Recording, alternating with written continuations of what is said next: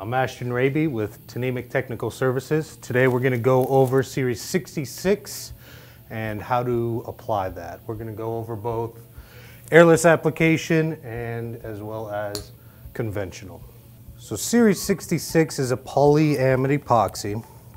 It's good for priming most substrates, anything from steel, CMU, drywall. Um, good penetrating primer. It can also be used as an intermediate coat, and then we'll get top coated with a typical urethane top coat. First step is getting both your components, your part A and your part B. You're gonna open both of these, and then you're gonna have your thinner ready. So we measured out at 13 ounces for the thinner. That's gonna be about 5% for two gallons. Series 66 pot life is going to be 10 hours at your 75 degrees. Temperature is going to affect that. Um, the hotter it is, the less pot life you're going to have.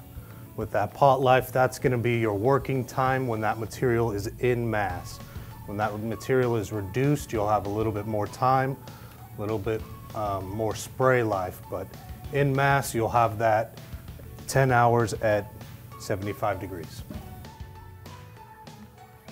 So these have been taken straight from the factory, so they should all be fresh, but we're gonna double check and make sure there's no settling, no separation.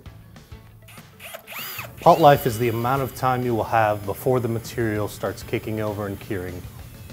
Now we're gonna pre-mix the Series 66 Part B. Make sure there's no settling on the bottom. So now we're gonna dump each component into your mixing container. That'll be one gallon of A. Scraping the inside to make sure that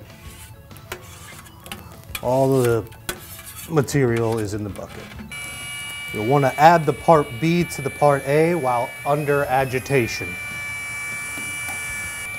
We're going to start with the slower speed while incorporating the part B into the part A. And then we will mix at a rapid speed once both components are in the container. Once both components are fully incorporated, we'll add our thinner slowly.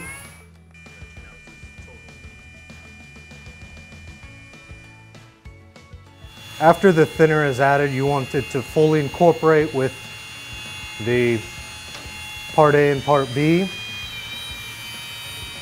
For conventional spray, our pressure pot is going to be set from 10 to 20 psi. Our air gun is going to be set at from 50 to 80 psi.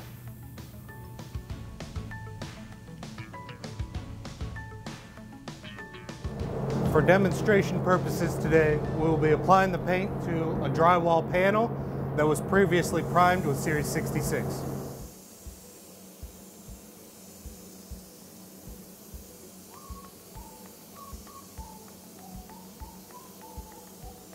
For Series 66, we're shooting from a range anywhere between 4 to 11 mils.